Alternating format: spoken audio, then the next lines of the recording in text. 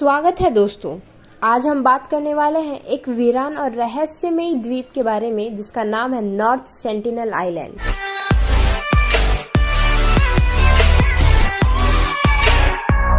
असल में ये अंडमान निकोबार आइलैंड का ही हिस्सा है और भारत सरकार राजधानी पोर्ट ब्लेयर से पश्चिमी दिशा में 50 किलोमीटर की दूरी पर है। यहाँ पर रहने वाले लोग का जीवन हम सबसे बहुत अलग है। इन्हें इस बात का बिल्कुल भी अंदाज़ा नहीं है कि इसके बाहर कितनी बड़ी दुनिया बसती है।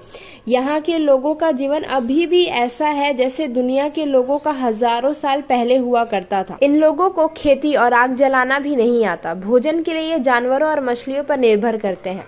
ये लोग ना तो खुद बाहर जाते हैं और ना बाहर से किसी को आने देते हैं।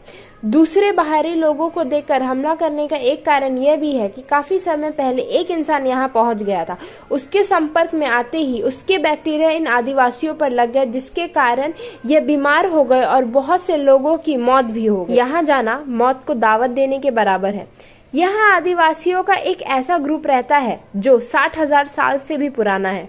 बाहर के लोगों का जाना इसीलिए मना है क्योंकि यह लोग अपने अलावा किसी और के कांटेक्ट में नहीं दूसरे लोगों को देखकर यहाँ के लोग उन पर हमला करना शुरू कर देते हैं। कहा जाता है, यहाँ जो जाता है, वो यहाँ से बचकर वापस नहीं आता।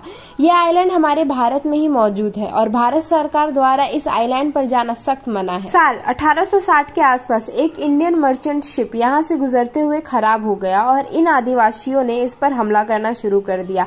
इसके बाद ही पता चला इस आइलैंड के लोगों के बारे में। दुनिया के बहुत सारे लोग इन पर रिसर्च करना चाहते हैं। ईयर नाइनटीन में एक टीम यहाँ पर रिसर्च करने पहुँची, पर इन लोगों ने उन्हें देखकर हमला करना शुरू कर दिया। उसके बाद ही सरकार ने यहाँ जाने की सख्त पाबंदी लगा दी। ये संसार के तमाम खतरनाक आइलैंड्स में से एक है। बहुत वर्षों से यहाँ के लोगों ने इस जगह को नहीं छोड़ा है। बट ये माना जाता है कि यहाँ इंसानों का वह ग्रुप रहता है, जिसने अफ्रीका को सबसे पहले छोड़ा था। इस आइलैंड का ज़्यादा हिस्सा फॉरेस्ट से कवर है।